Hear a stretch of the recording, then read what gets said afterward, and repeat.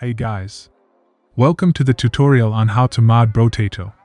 In this tutorial I am going to show you how to backup save files, install mods and mod selector. First we are going to start off by googling Brotato modding.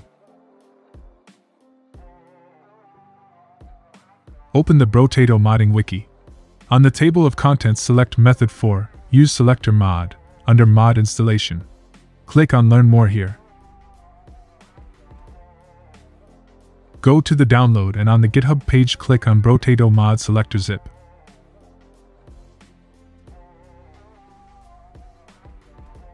Download the file and save it to your desired location, from where you will be launching modded version of the game. Extract the zip file and open the extracted folder.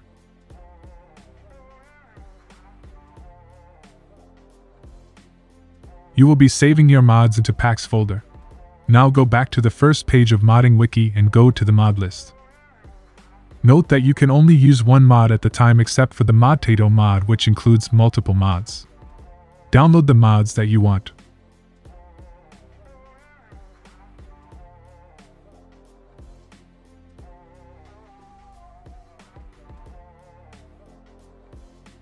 You can find the download links under Downloads or Releases.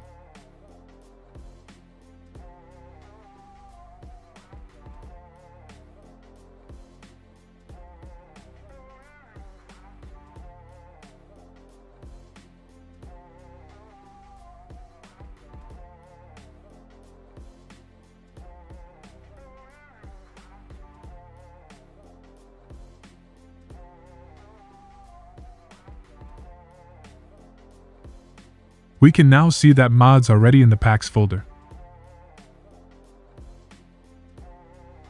Before we launch the mods, let's create a backup folder for our vanilla game save. In the Windows search bar type in app data. If you are using an older version of Windows you can also use the run prompt, which you can open by pressing Windows button and R at the same time.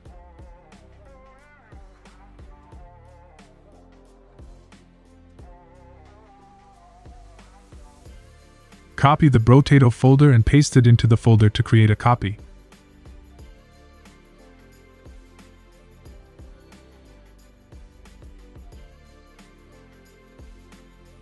If you ever want to go to your original save files you can delete the Brotato folder and rename the copied folder to Brotato. You can also keep the modded save files by renaming them to something else while you are using vanilla save files. Let me create my backup folder again.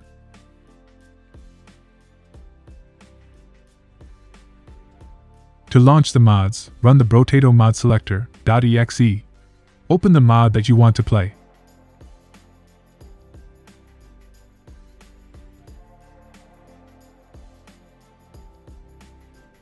We can see that the mods are working.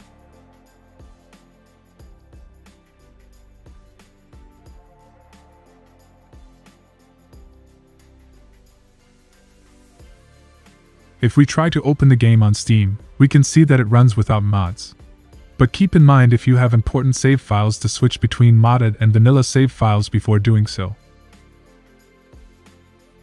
You can find more helpful information for modding on the Brotato Discord server. Link to join is in the description. And that's all for this tutorial guys, thanks for watching and don't forget to like, comment and subscribe. See ya.